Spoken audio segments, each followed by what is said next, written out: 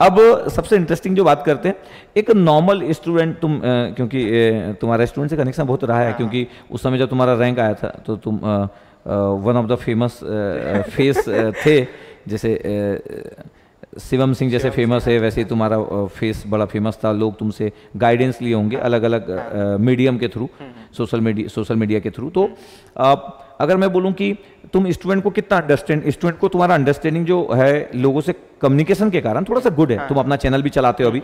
तो तुम्हारा अंडरस्टैंडिंग जो है स्टूडेंट को समझने का थोड़ा बेटर है। एक टॉपर का बेटर इसलिए नहीं हो पाता क्योंकि वो कितने लोगों को जानेगा? मतलब वो अपने को जानता है कुछ लोगों को जानता है। लेकिन जिसका जो ज़्यादा लोगों से बात करता है उसका थोड़ा अंडरस्टैंडिंग ज़्यादा हो जाता है कि लोग क्या सोचते हैं। क्योंकि लोग प्रॉब्लम बताते हैं। जैसे मेरे को आइडिया इसलिए क्योंकि लोग बहुत प्रॉब्लम बताते हैं। तो तुमको क्या लगता है कि एक नॉर्मल जो स्टूडेंट है जो अपनी प्रिपरेशन कर रहा है उसका रैंक ना आने के पीछे क्या क्या दो तीन मेन रीजन रहते होंगे जिसके कारण वो अपनी प्रिपरेशन भी करता है एफर्ट भी मारता है लेकिन रैंक नहीं ला पाता। क्या रीजन रहते होंगे? सबसे बड़ा तो सर यही है जो हमने जस्ट डिस्कशन किया नेगेटिव मार्किंग अभी भी जैसे मैं सेशन लेता हूँ सब बोलते हैं नेगेटिव मार्किंग बहुत हो रहा है। मतलब नेगेटिव मार्किंग वर्स्ट पार्ट है पता है? आपने सर मतलब ऐसा है कि दो तीन साल तैयारी की उस टॉपिक को भी पढ़ा इतने क्वेश्चन प्रैक्टिस भी किए। फिर मैं इतना मेहनत करके एग्ज़ाम में गया वहाँ पे फिर मैं दो चार मिनट उस क्वेश्चन को दिया भी। उसके बाद मेरे को आते हुए मैं सब गलत कर दिया। मतलब सब यह छोटी मिस्टेक रहती है जस्ट प्लस माइनस हो गया पॉइंट वन पॉइंट टू हो गया उतने में ही मिस्टेक हो गई उतने में ही आपका मार्क्स चले जाते हैं। तो सबसे मेन जो सबसे इजी तरीका है। आपका रैंक अगर बूस्ट करना है मार्क्स बूस्ट करना है वो है नेगेटिव मार्किंग मिनिमाइज करिए। उसमें भी सर वही है टेस्ट सीरीज़ करके एनालिसिस करना। और मैं हमेशा बोलूँगा ना कि आप थोड़ा स्लो बनाइए। जैसे सर ने बोला ना 65 है हमको कोई नहीं पता मैं सच बता रहा हूँ कोई नहीं है। आ, मेरे टाइम पे क्या होता था मेरे दोस्त लोग कुछ 65 बना के मैं डिप्रेस हो गया कि यार मैं कैसे 52 बनाया हूँ। पर उनका रैंक तो 2000 आया क्योंकि उन लोग सर जाके करके आ गए ऐसे। ही हमको उतना करना नहीं है। एम यही रखिए 50 52 करीब ही आपको करना है पर एक्यूरेटली कीजिए। आप आप एक प्लस पॉइंट देखिए कि आप 10 क्वेश्चन तो सॉल्व नहीं कर रहे हैं। उसका टाइम आपके पास बच गया ना। तो बाकी क्वेश्चन में मेरा एक एक मिनट या तीस सेकंड इंक्रीज हो गया। तो मैं उसके लिए बोलूँगा ना, आप थोड़ा उस स्पीड स्लो कर दो। स्पीड स्लो कर दो, अपना एक्यूरेसी पे ध्यान दो। तो उससे क्या है सर एक एक क्वेश्चन हम जो सॉल्व करेंगे वो बन जाएगा पक्का। और ऐसा होते जाता है ना कि पेपर के जब हम सर पेपर में बैठते हैं तो कैसे? क्वेश्चन सॉल्व कर रहे हैं। हमको लग रहा है कि हम कुछ सॉल्व किए। मान लीजिए ऑप्शन वाला है। आ, मेरा मेरा आंसर आया टू आया। अब आंसर ऑप्शन में वन थ्री फाइव दिया हुआ है। तो तो मेरा तो गया। हाँ। तो मैं वहीं डिप्रेस हो जाता हूँ।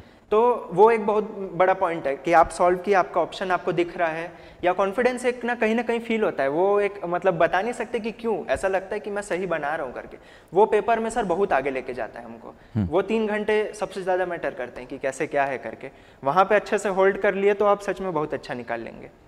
और मेरे को ये भी लगता है कि जैसे स्टूडेंट पेपर में जब पेपर का एग्जैक्टली पेपर की बात करूँ अभी तो लोग घर में बैठते हैं तब तो इतना फियर नहीं रहता है।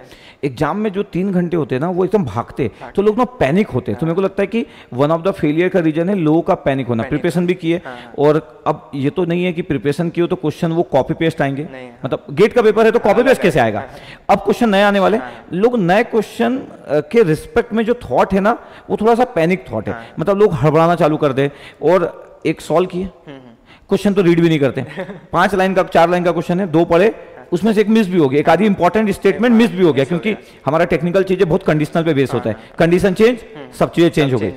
तो वो कंडीशन भी मिस कर दिए अब सॉल्व भी कर दिए फटाफट सॉल्व कर दिए। अब वो चार में से एक भी नहीं आया। अब ना पैनिक होना चालू है। अब इधर देख रहे उधर देख रहे पसीना चालू।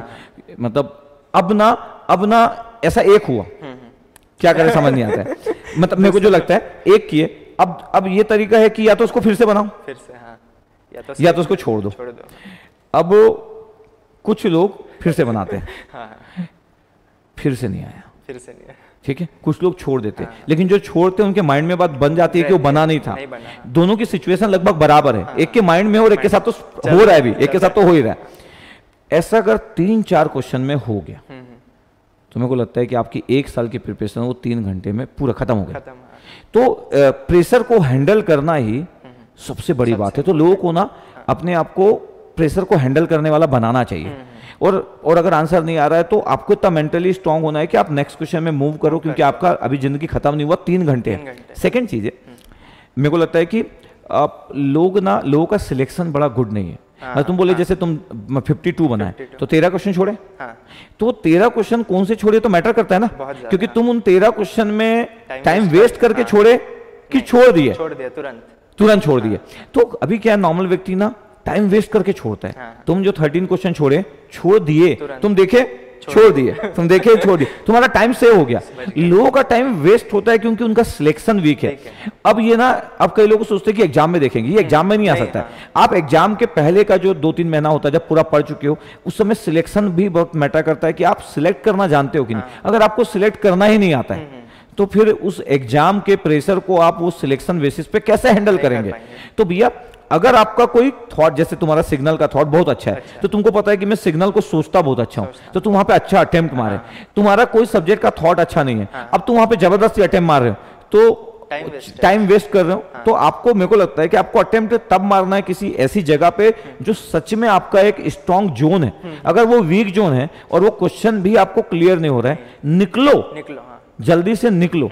और ऐसे 10-12 क्वेश्चन में अगर आप टाइम वेस्ट नहीं किए तो जो आपका स्ट्रॉन्ग जोन था या मीडियम जोन था वहाँ पे टाइम बढ़ गया। बढ़ गया। और टाइम बढ़ने से एक्यूरेसी भी बढ़ जाएगी हड़बड़ाहट भी कम होगी और आप कूल तरीके से अपना दोगे पेपर तो ये सर वही है कि टेस्ट में ना ये सारी चीज़ें सीख जाते हैं एक्चुअली टेस्ट में ऐसा ही है कि ना मतलब अलग अलग टेस्ट आते हैं। कुछ इजी टेस्ट होते हैं कुछ टफ टेस्ट होते हैं। तो ना टेस्ट में ना पूरा चीज़ सीखने मिल जाता है। इजी को मैं कैसे अटेम्प्ट करूँ? इजी में अगर मेरे को दिख रहा है पेपर इजी है सारे क्वेश्चन बन रहे हैं। एक्चुअली जो सर ने बोला ना सबसे मेन है आप क्वेश्चन रीड किए आपको सेलेक्ट करना है। आपको पाँच सेकंड लगने चाहिए।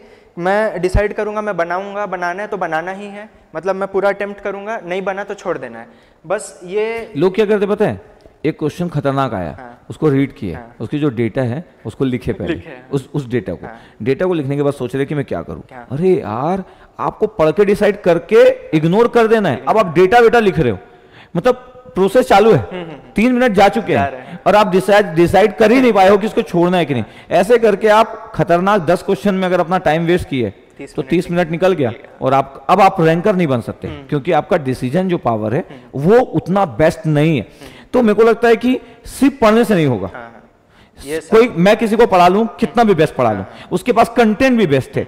क्या वो बेस्ट कंटेंट क्या मेरा पढ़ाने से क्या वो रैंकर बनेगा तो मेरा आंसर है नो नो मेरे को लगता है उसको वो इंडिविजुअल एक पर्सन है हम्म। जिसको अपने पे काम करना पड़ेगा। जिसको समझना पड़ेगा कि वो हड़बड़ाता ज़्यादा है हम्म। या उससे उसकी एक्यूरेसी की प्रॉब्लम है या उसकी स्पीड की प्रॉब्लम है या उसके सिलेक्शन की प्रॉब्लम है। और मेरे को लगता है सिलेक्शन की प्रॉब्लम तो बहुत ज़्यादा है। हाँ। सिलेक्शन की प्रॉब्लम तो बहुत ज़्यादा है छोड़ने सर आता नहीं है ना एक्चुअली लोगों को एक्चुअली ऐसा नहीं है कि ना सर जैसे टफ क्वेश्चन भी है कोई आदमी पढ़ा है ना तो वो बना लेगा पर बनाना तीन घंटे में वो तीन घंटे में मेरे को मैक्सिमम अब 11 मिनट तक आप प्लान कर रहे हो हाँ। तो तो निपट गया ना हाँ। तो आपको टाइम भी तो मैटर करता है ना हाँ और छोड़ना मतलब ये नहीं कि ना छोड़ दिया मतलब सर खत्म ही हो गया। एक्चुअली मैं खत्म कर लिया मान लीजिए वन से सिक्सटी फाइव किया मैं छोड़ा उस समय छोड़ दिया तो मेरे पास तो फिर से चांस है ना। मेरे हाँ। पास टाइम बचा तो मैं फिर आ सकता हूँ। इसलिए ऐसा सोचना नहीं कि छोड़ दिया तो अब मेरा गया करके तीन मार्क ऐसा नहीं होता। मैं वापस आऊँगा थोड़ी देर बाद। उसमें क्या करना है ना कि जैसे सर क्वेश्चन पैलेट में मार्क फॉर रिव्यू का ऑप्शन रहता है। Yes. कुछ क्वेश्चन लग रहे कि हाँ ये बन सकता है पर टाइम लेगा तो मैं वेस्ट नहीं करूँगा। बन सकता है मैं उसको मार्क फॉर रिव्यू कर दूँ आगे बढ़ जाऊँ। ऐसे ही कर करके आप सबसे ईजी ईजी पहले बना लीजिए।